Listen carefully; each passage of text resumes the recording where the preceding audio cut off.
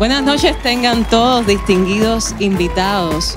La verdad es que me siento súper honrada de estar presentando esta gala para entregar el premio Latino Award. Para nosotros, por supuesto, un gran honor dar el premio a un- una excelencia como César López. ¡Qué belleza!